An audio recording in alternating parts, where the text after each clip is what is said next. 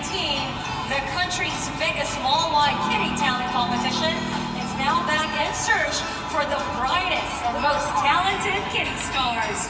Preliminary screening schedule starts on April 6th.